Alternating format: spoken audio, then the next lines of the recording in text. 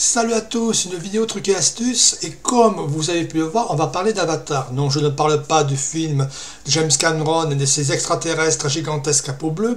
Non, je parle des petits dessins qui permettent d'identifier un compte utilisateur. Quand j'utilisais WinXP, quand il y avait des machines multilisateurs, chacun avait un petit dessin pour l'identifier. Il y avait la navette spatiale, le chien, le poisson rouge, le ballon, la guitare, et chacun avait une image pour l'identifier. Donc je vais vous montrer comment avec Mugshot, on peut générer ça une petite parenthèse en passant, savez-vous ce qu'est un mugshot? C'est une photo d'identité judiciaire. Et l'une des plus célèbres en micro-informatique, c'est celle-ci. Voilà. Je ne sais pas si vous connaissez ce petit rouquin, qui est un des, euh, euh, humains les plus riches de la planète. C'est William H. Gates, troisième du nom. Bill Gates, oui. Donc, il avait été arrêté à Albuquerque, au Nouveau-Mexique, en 1977. Je ne sais plus pourquoi, je crois que c'est pour une conduite en état d'ivresse ou compagnie. Tout ce qu'on peut dire, c'est qu'il avait des goûts spéciaux en terre de chemise. C'était en 1970, donc les chemises à fleurs, Berk. Donc là, on ferme la parenthèse. Donc je vais vous montrer comment on utilise Mugshot.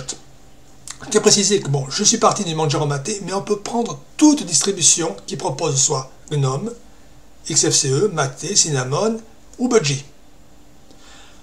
Tout ce qui propose l'IDM et GDM comme gestion de connexion. Pour SDDM, je ne sais pas, et pour XDM, je ne sais pas non plus, donc je ne me prononce pas. Mais ça regroupe quand même pas mal d'options.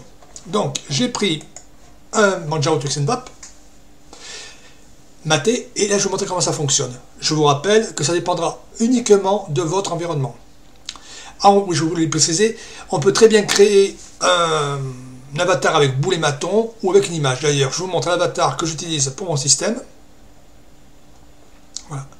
C'est mon personnel, déjà rien que l'icône, ça y est, voilà. Là, c'est l'avatar que j'ai créé avec boulet maton. C'est Mugshot qui est lancé. Donc, je vais montrer comment on lance ce bazar. On est parti. Bien sûr, vous nettoyez dans le descriptif comme d'habitude. Donc vous pouvez prendre soit un avatar fait sur boulet maton, sur manga my face, ou une photo, tout simplement. Elle sera juste recadrée pour coller à la bonne taille. Et ça permet aussi bien d'avoir l'avatar au niveau de votre environnement qu'au niveau, par exemple, de gestion de connexion. Parce que là, on a un avatar tout, ce qui est plus bête. C'est quand même un peu ennuyeux. Donc là, une machine virtuelle.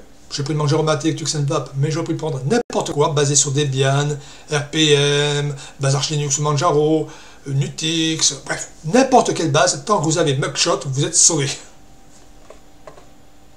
Donc là, on va commencer par récupérer une image. Donc là, sur celui-là, c'est Chromium. On va prendre, puisqu'on est dans un monde linuxien, quelle mascotte colle le mieux? Notre ami Tux. Donc je vais sur image.google.fr et on va prendre Tux. Euh, lequel on va prendre?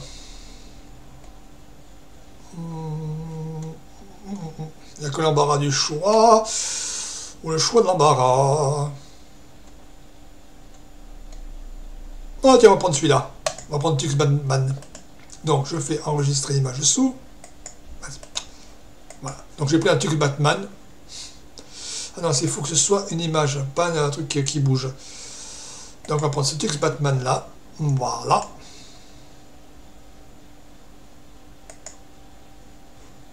Voilà, donc on va, le mettre Tux.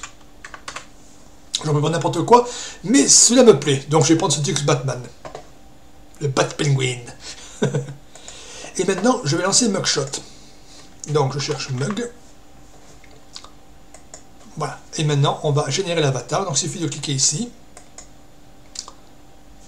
Soit on image la collection, soit en parcours.